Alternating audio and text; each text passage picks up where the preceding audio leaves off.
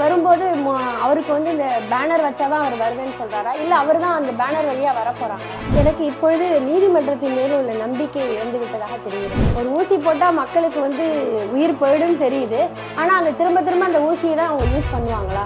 ஆனா தமிழக மக்களுக்கு அந்த அக்கறை இருக்கிற மாதிரி தமிழக அரசுக்கு அந்த அக்கறை இருக்கிற மாதிரி எனக்கு தெரியுது. அவர் வந்து பேனர் இருந்தாதான் உள்ள வருவேன் அப்படின்னு அவர் சொல்லணும். ஃப்ளக்ஸால ஒரு உயிர் போய் இன்னும் ஒரு மாசம் கூட ஆகல. ஆனா அதுக்குள்ள ஃப்ளக்ஸ் வைக்கணும் அப்படின்னு அரசு அனுமதி கேட்டிருக்காங்களே.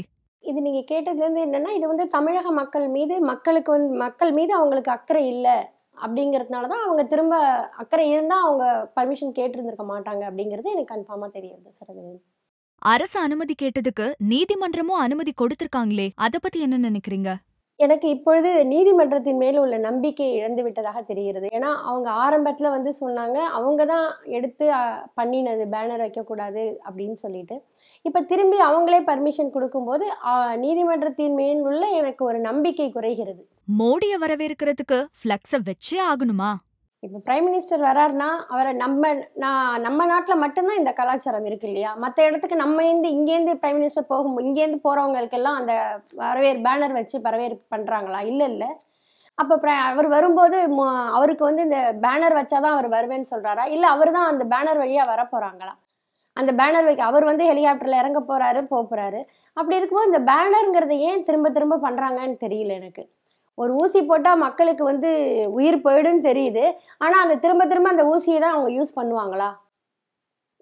தெரியல சார் அதோட ஆன்சர் அவங்க தான் சொல்லணும். இதுவரைக்கும் சுபஸ்ரீ மரணத்துக்கு நீதி கிடைக்கல. இந்த நிலையில ஃப்ளக்ஸ் வச்சு மீண்டும் ஒரு மரணம் நிகழ்ந்தா யாரு பொறுப்பாவாங்க? மீண்டும் மரணம் நிகழ்ந்தால் தமிழக மக்கள் மீதே அவங்களுக்கு பொறுப்பு இல்லையே சார் பொறுப்பு இருந்திருந்தா அவங்க ஏன் திரும்ப வந்து திரும்பி பேனர் பேனருங்பாங்க எங்க வீட்டில் ரெண்டு புள்ள இருந்தது. ஒரு புள்ள போயிடுச்சு பேனரால நான் அப்போ என்ன சொல்லுவேன்? அடுத்த குழந்தைய அம்மா நீ போகாதம்மா. இனிமேல் நீ இப்போ வண்டியிலே போ ஆட்டோவில் போ. வேண்டாம்மா. நீ ஒத்தி போயிட்டா நீ ஜாக்கிரதையாக போன்னு சொல்லுவேன். ஏன்? எனக்கு அந்த குழந்தை மேலே அக்கறை. ஆனால் தமிழக மக்களுக்கு அந்த அக்கறை இருக்கிற மாதிரி தமிழக அரசுக்கு அந்த அக்கறை இருக்கிற மாதிரி எனக்கு தெரியல. தெரிஞ்சிருந்தா அவங்க அந்த வேணாங்கிறத கேட்டிருந்திருக்க மாட்டாங்க. இதுவரைக்கும் ஃப்ளெக்ஸால ரெண்டு உயிர்கள் பறி போயிருக்கு இருந்தும் அரசு இதை பெருசா எடுத்துக்கவே இல்லையே. அதுதான். அவங்களுக்கு அதை வந்து மக்கள் மீது உள்ள நம்பிக்கை மக்கள் மீது அக்கறை இல்லைங்கிறது இது க- ச- அதிகாரப்பூர்வமாக தெரிவிக்கிற காண்பிக்கிறாங்க. அவ்வளோதான் இது எல்லா மக்களுக்குமே தெரியப்படுத்துகிறாங்க மக்கள் மீது அரசுக்கு